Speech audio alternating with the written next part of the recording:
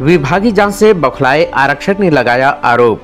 छत्तीसगढ़ के बालोद ज़िले में आरक्षक अर्पण जैन द्वारा अधिकारी के खिलाफ गंभीर आरोप लगाने पर खुलासा हुआ कि आरक्षक अर्पण शुरू से ही गलत कार्यों में लिप्त रहा है, जिसकी जाँच हर दफ़ा होती रही है, मगर वह हर बार इसी तरह विभाग पर दबाव बनाकर बसता रहा है और इस बार भी बड़ी जाँच से बचने के लिए अधिकारी पर ही झूठा आरोप लगा दिया। आरक्षक अर्पण जैन महँगी गाड़ियों का शौक रखते हुए आलिशान घर में रहता है।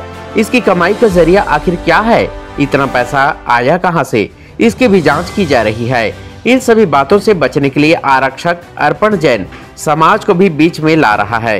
पुलिस अधीक्षक ने कहा कि उनके द्वारा किसी भी जाति को लेकर कुछ भी नहीं कहा गया है। वही अर्पण ने अपनी जाँच से बचने की कोशिश में जुटा है। अर्पण की शिकायत काऊ में भी की जा चुकी है कि दो करोड़ से अधिक लागत में घर कैसे बनाया? आरक्षक पर पदी कर्तव्यों का थोड़ा सा जो सही नहीं करने से तथा अनुपस्थिति को लेकर एक विभागीय जाँच कार्रवाई की जा रही है। और यह संभव है कि विभागीय जाँच को प्रभावित करने के लिए ही उसने आवेदन दिया इस संबंध में जाँच चल रही है, लेकिन उस आरक्षक का जो के विरुद्ध भी पूर्व में कई शिकायतें रही हैं, और शिकायतों के आधार पर उनका पूर्व में ट्रांसफ़र भी हुआ था। छत्तीसगढ़ बालोद से दीपक देवांगन छत्तीसगढ़ विजन टीवी।